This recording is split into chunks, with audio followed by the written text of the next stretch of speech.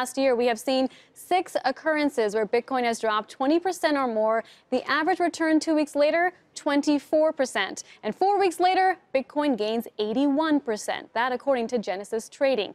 But warnings from the SEC could spell trouble for investors. The regulator raising the alarm about Bitcoin ETFs and mutual funds, saying that there are a number of significant investor protection issues that need to be examined before sponsors begin offering these funds to investors. Let's talk more about investing in Bitcoin with more regulation on the go with Ari Paul, CIO of BlockTower Capital, previously a portfolio manager at the University of Chicago Endowment. Ari, welcome to the show. Thank you for having me, Seema. Let's talk about regulation and the strongly worded letter from the SEC. If we do see more regulation, not just from South Korea and China, but the United States as well, that certainly makes investing in this space more challenging. Certainly, I think it's probably the single biggest risk to investing in cryptocurrency is regulation. So why are you doing it? Well, so with, with great risk can come great returns potentially. And what's really interesting about the space to me is that there are idiosyncratic risks and idiosyncratic returns. So as part of a broader portfolio, it's a very attractive source of risk and return. If South Korea does in fact ban all cryptocurrencies, and we're talking about South Korea, one of the largest Bitcoin markets in the world, where do you see Bitcoin going from here? Well, if there was an outright ban, I would expect a crash. And what does a crash mean? Uh, maybe we return to the September lows of, say, 3,000. That would be an extreme case, but we don't do not expect a full ban ban in South Korea. How are your investments in Bitcoin and maybe some of the alternative coins doing right now? So we we invest across the entire investable universe. We don't right. necessarily own any Bitcoin. Um, almost all of cryptocurrency has been down kind of together. Correlation's been very high, sure. so most things were down 50%.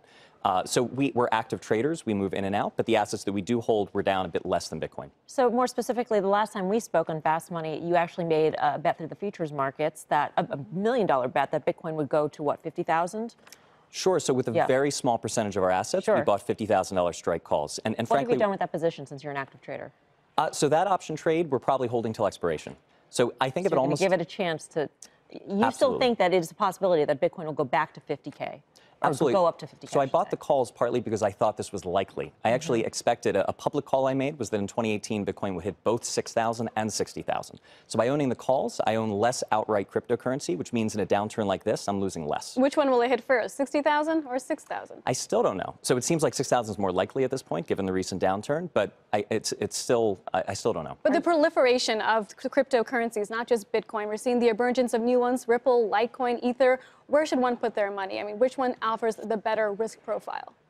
I, that, that's a very tough question. Um, I think if an investor is only going to invest in, in a couple uh, or, or, one or a few, I think the Coinbase coins are attractive. Um, they tend to have real communities. They're less um, uh, pumped artificially. There, there's, there's more of a grassroots kind of broad ownership. So I think Bitcoin is still a good long-term bet.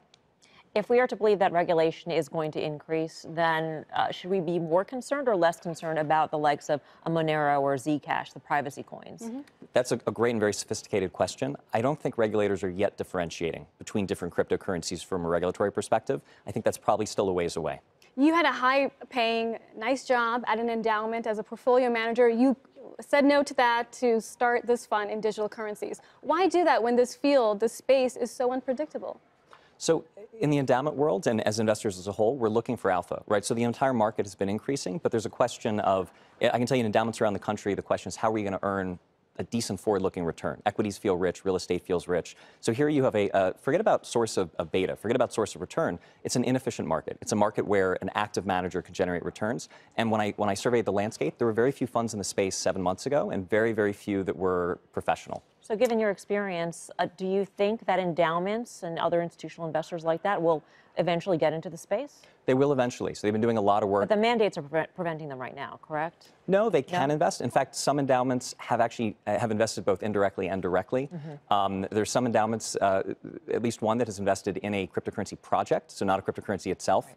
Um, and many of them are invested in venture capital firms that are invested in us, in other funds, as well as in cryptocurrency directly. So it's not just the South Korean grandma who's investing right now. I mean, no. the institutions are, are, are, finally get, getting in. Yeah. Most of the large family offices in the country are right. in cryptocurrency. Hey there, thanks for checking out CNBC.